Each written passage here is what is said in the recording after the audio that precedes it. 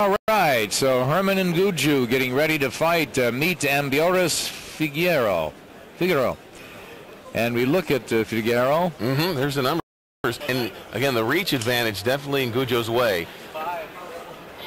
Mesdames et messieurs, ce combat est prévu pour 8 rounds dans la catégorie des poids super légers. This next bout consists of 8 rounds of action in the super lightweight division.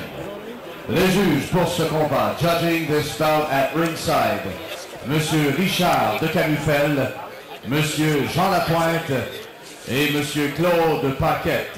L'arbitre du combat, refereeing this bout, Mr. Jerry Poland. D'abord dans le coin bleu, portant la culotte noire et pesant